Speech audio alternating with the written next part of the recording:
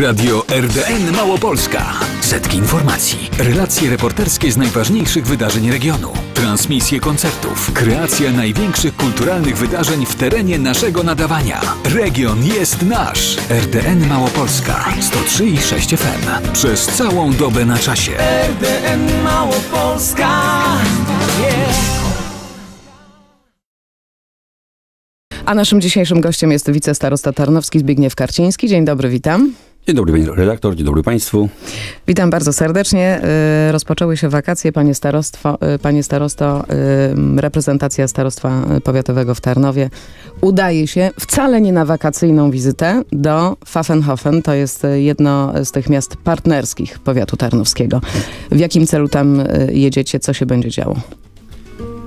Pani redaktor, y, wakacje może nie dla wszystkich, y, wakacje są dla dzieci, natomiast y, jako Rada Powiatu Tarnowskiego jedziemy do Pfaffenhofen, pierwszego wyjeżdżamy. Oficjalne spotkanie z tamtejszą radą, bo wyjazd jest na zaproszenie tamtej rady. Pfaffenhofen 2, 2 lipca będziemy mieć oficjalne spotkanie, wspólną radę, na której nastąpi podpisanie nowej umowy o wzajemnej współpracy. Pierwszą umowę chciałem przypomnieć. W 2001 roku podpisał ówczesny starosta, obecny poseł, pan Michał Wojtkiewicz. E, I dzięki tej umowie mm, mamy najstarszego partnera, jakim są właśnie Niemcy, Pfaffenhofen, Bawaria. I dzięki tej, tej współpracy, tej umowie i tej wymianie powiat tarnowski, a właśnie nasi mieszkańcy i młodzież sporo, sporo zyskali. E, od początku ta współpraca była nie tylko na papierze, ale przede wszystkim merytoryczna i przynosiła wymierne efekty. Chciałbym przypomnieć, że dzięki tej, tej współpracy e, powiat tarnowski, właściwie jednostki Ochotniczych Straży Pożarnej wzbogaciły się o no, kilkanaście samochodów bojowych, strażackich, dużych, ciężkich, średnich, różnej, różnych marek. Głównie to były Mercedesy, jak również no, pierwsza w powiecie e, tarnowskim karetka pogotowia, Mercedes e, z napędami na cztery koła, która w terenach górskich no, sprawdziła się przez kilka, kilka lat. Ale to nie tylko taka wymierna, ale, tak. materialna pomoc, ale także na przykład praca dla y mieszkańców naszego powiatu tam. Tak. Y ówczesny starosta y Rudi Engelhardt, bardzo przyjazny notabene nam, Polakom i mieszkańcom naszego powiatu, bardzo chętnie i właściwie to od ręki wszystkim naszym mieszkańcom, mieszkańcom powiatu tarnowskiego, tam dawał pozwolenie na legalną pracę, czy tak zwaną pracę na biało, E, oczywiście no, to była praca sezonowa w większości przy zbiorach chmielu czy, czy, e, czy też szparagach. Teraz e, jedziecie podpisać umowę, która będzie miała trochę szersze spektrum współpracy niż te, tak. ta dotychczasowa. Na bazie tych doświadczeń wieloletnich chcemy teraz poszerzyć tę umowę. Jesteśmy już po uzgodnieniach, mamy tekst umowy dopracowany. Oczywiście zwiększymy ten zakres o wiele, wiele innych czynników. Mam tu na myśli pomoc naszym przedsiębiorcom we współpracy z Niemcami, handel, rolnictwo, doświadczenia na tej bazie, czy też, a właściwie to przede wszystkim bezpieczeństwo. Mam tu na myśli głównie, głównie doświadczenia niemieckie i, i straż pożarną. Ma, oczywiście mamy tutaj w umowie zapisane, że w razie kataklizmów czy katastrof wzajemna współpraca, wymiana doświadczeń, jak również pomoc w sprzęcie i ludziach. Myślę, że to poszerzenie tej umowy będzie miało wymierne efekty, ponieważ często korzystaliśmy z doświadczeń niemieckich w różnych sytuacjach, ale dzisiaj z całą odpowiedzialnością mogę powiedzieć, że jesteśmy tutaj też liderem w wielu innych e, dziedzinach, chociażby nawet pogotowie ratunkowe nasze, które ma tą naszą dyspozytornię i ta dyspozytornia jest naprawdę na bardzo, ale to bardzo wysokim poziomie. E, bardzo nowoczesna i często, gdy mm, i Niemcy przyjeżdżają, czy inni nasi partnerzy, e, no to z podziwem patrzą na nasze rozwiązania.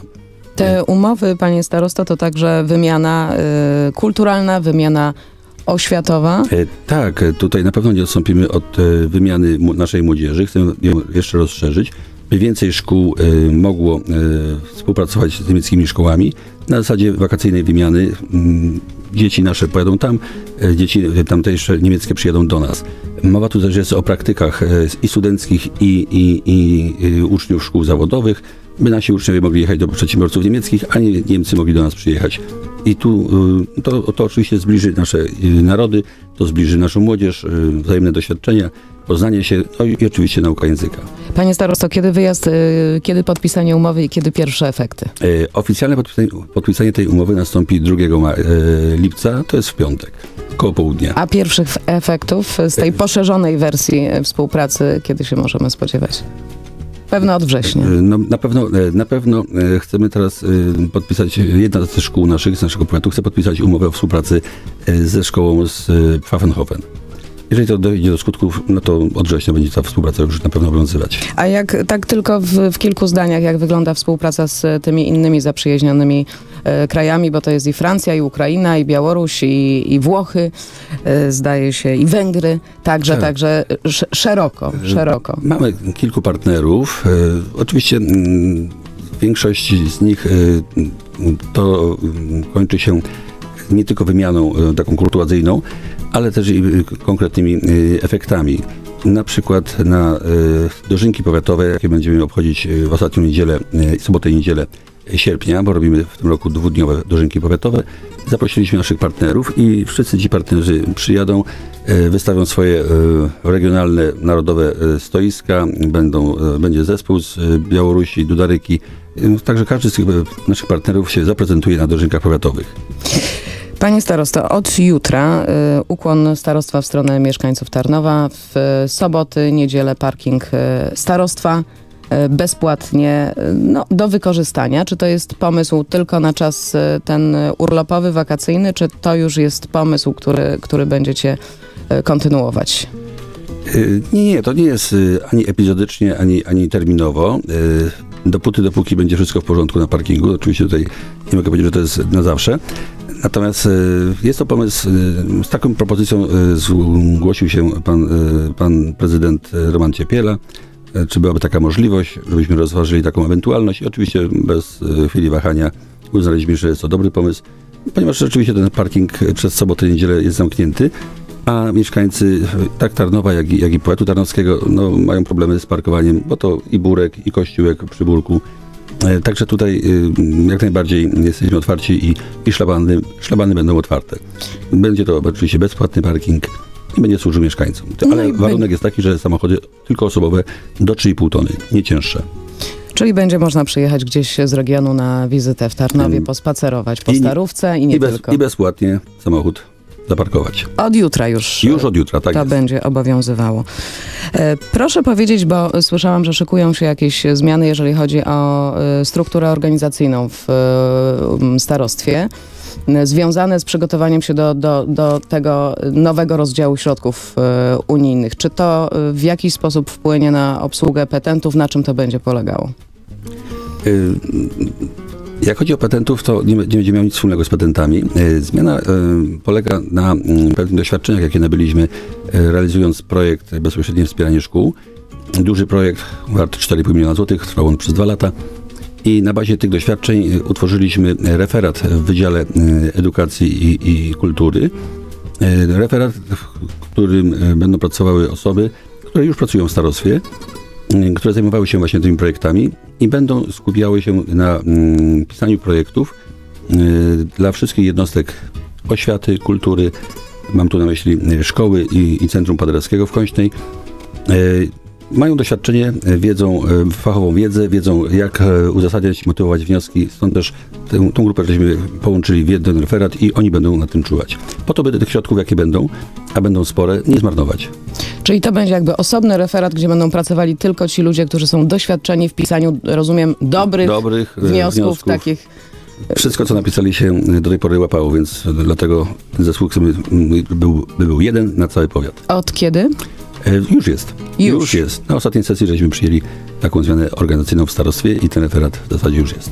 A teraz y, kulturalnie, panie starosto, jed, y, panie starosto, jednym z pańskich pomysłów, takich bardzo ciekawych, jest y, to, co już y, odbyło się. Między, pierwszy międzypowiatowy przegląd pieśni kresowej.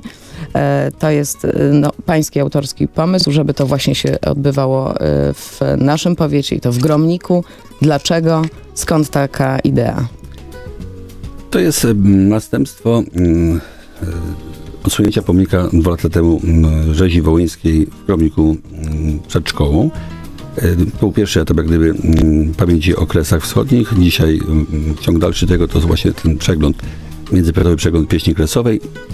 E, Panie redaktor, młode pokolenie jest e, zagrożone mm, nie tyle niepamięcią, co niewiedzą o Kresach Rzeczy- Rzeczypospolitej.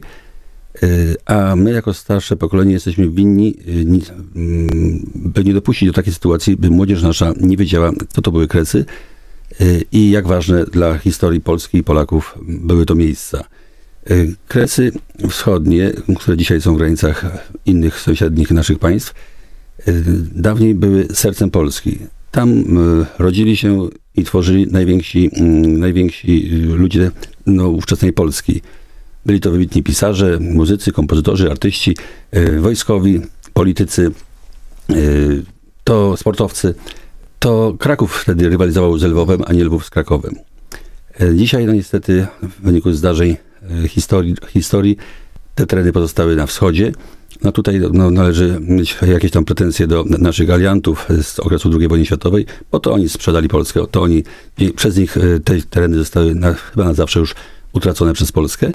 Niemniej jednak e, nie możemy my o tym zapomnieć i musimy mu- naszym młodym e, ludziom, młodym Polakom tą wiedzę przekazać. Nie po to, żeby się żywić nienawiść czy, czy zieloną nienawiścią, ale po to, by pamiętali, że te ziemie były polskie, to były rdzenne ziemie polskie, tam tworzyła się kultura polska, pewna historia, obyczaje, tradycja.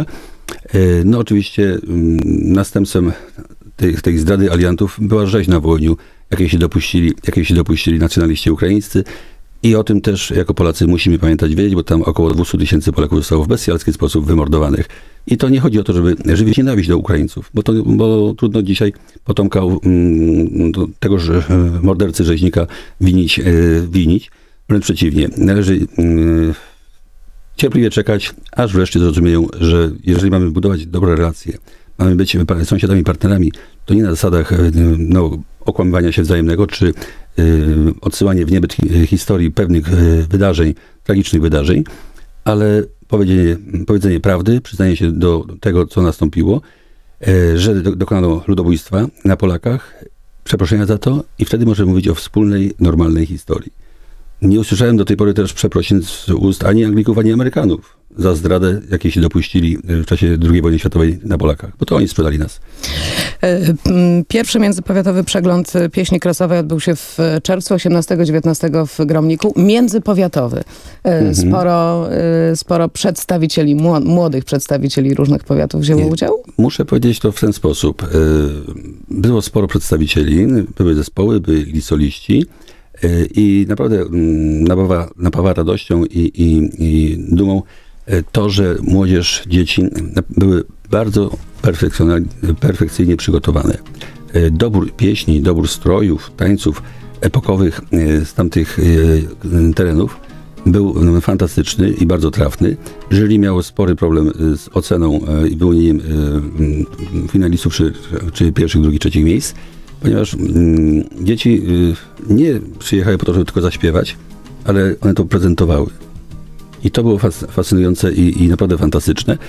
Y, Pan kurator y, Palczewski, który objął patronatem y, tenże przegląd, też był pod wrażeniem i, i mm, zapowiedział, że chciałby, żeby ten przegląd w przyszłym roku stał się przeglądem wojewódzkim i, i do kalendarza wojewódzkich konkursów będzie on wpisany. Czyli ciąg dalszy nastąpi. Ciąg dalszy nastąpi i oby tak dalej, oby nasza młodzież, która jest naprawdę fantastyczna i pełna inicjatyw i pomysłów, pamiętała o tym, co polskie. A tymczasem życzę y, udanej, owocnej y, podróży reprezentacji starostwa do Niemiec, do Pfaffenhofen, podpisania umowy i tego, żeby ta umowa przyniosła dobre efekty dla mieszkańców powiatu I ta tarnowskiego. współpraca jest z Niemcami jest dowodem tego, że można y, pamiętać, ale jednocześnie wybaczyć. Bardzo dziękuję za dzisiejsze spotkanie. Wicestarosta Tarnowski Zbigniew Karciński był Państwa i naszym gościem. Dziękuję Państwu bardzo, dziękuję pani, redaktor.